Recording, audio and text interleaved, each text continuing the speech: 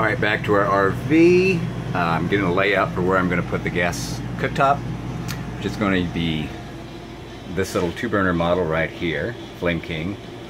Um, it's going to have a gas line that goes from here out into the what used to be the O2 uh, storage for the ambulance, and I'm going to commence to cutting.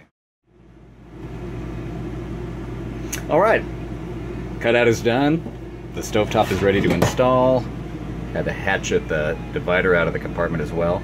And now I'm going to drill a hole for the gas line. I've got a four foot gas line I'm going to run through the back of that cabinet. Angle it between that space between the cabinet and the outer wall and into our O2 compartment. All right, I was able to get the gas line ran back to this compartment and fortunately where the oxygen tank hose came in. I was able to feed that through into the oxygen compartment, so the hole's already pre-drilled for that.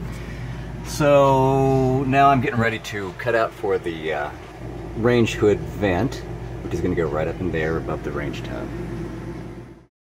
So once again, like installing the windows and other things that went through the outside, I just marked it from the inside, drilled some holes in the corners of what the cutout's going to be, and now I'll go cut it from the outside. Okay, I got the hole laid out and cut with the uh, circular saw. I'm just going to use a saber saw, or actually a little cordless hacksaw to uh, clean up the corners. That's a nice thing about using cut aluminum. Um, you can use regular wood tools with it. It works pretty well. Uh, aluminum is soft enough. So I'm just going to clean that out. The hole will be cut. All right, the hole is cut. Now I just have to lay out the ductwork for the uh, range hood and uh, get it installed keep watching. Alright, so now what I've done is temporarily install the range hood vent. I've got the uh, hole cut out, I've got the uh, the outside plastic vent just temporarily installed, it's not screwed in place yet. Um, and now I'm going to lay out, you can see back there, but I'm going to lay out the, uh, I've kind of marked with a magic marker the back of the range hood and where the vent is so I can uh, fabricate an aluminum channel to vent it out to the uh, the vent cover. Ah, you can see the little flashing of the vent hood flap. Anyway, I'm gonna, you know, back to the uh, stove vent installation. I decided to play with these wires more to see if I could figure out anything else they might go to before. Before I put the vent hood in, I've got to put that back panel in place uh, mount the wall switches and figure out, you know, I'll go ahead and go ahead and label and switch everything I've got identified anyway. So I was playing around with it and I, I did miraculously find the wire that will power the radio on even if the uh, main batteries to the uh, the the ambulance are turned off. So this is is powering off of our 12 volt system. It'll be the RV system. Turn it on the radio comes on, and that'll power the speakers back here. You know, little things, but I'm excited. Yeah, man, a little Bob Marley playing in the background.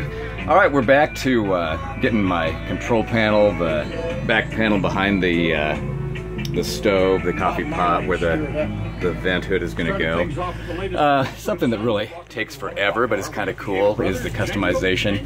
I actually was able to use part of the. Uh, let me turn that off.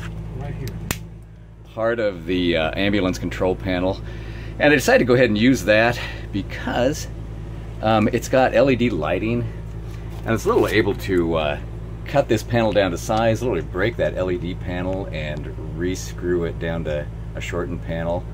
Um, so at night, uh, it'll illuminate some of these uh, labels for what the switches are.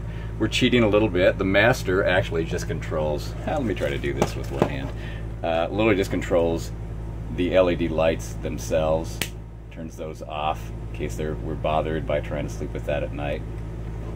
Um, the speaker actually controls, I was able to find the switch that turns the radio on from the RV power supply or my power supply back here. Suction pump is no longer a suction pump, that's actually now the uh, water pump for the sink. Right dome is for the right dome. Sorry about all the movement in this video. uh, what do you do? Left dome is for the left dome lights. There we go. And fluorescent light. We actually had one fluorescent lights that did originally control the uh, ceiling fluorescent lights, which I have not been able to get operating. But it did have a small under cabinet fluorescent light, which we really needed a light above the sink. So if I turn that on, we now have lights under the sink. Today, I will get the panel installed. I've got a uh, 110 volt receptacle to put in this panel as well. Uh, I've got a uh, propane and carbon monoxide detector to put in this panel, and then of course this panel itself.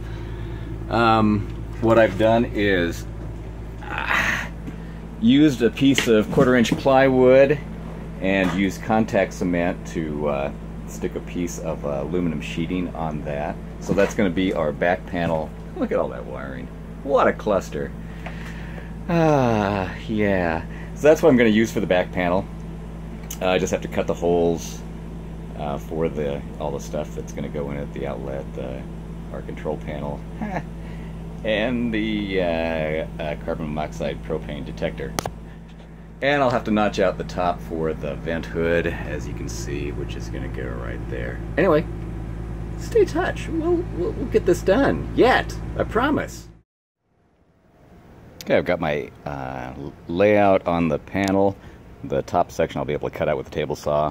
Um, these smaller sections, I've drilled some tiny holes through. I'll be able to cut part of this with the table saw, but I've done some tiny holes in each corner, laid it out on the back, so whatever I can't cut from the front, I will uh, saber saw out from the rear.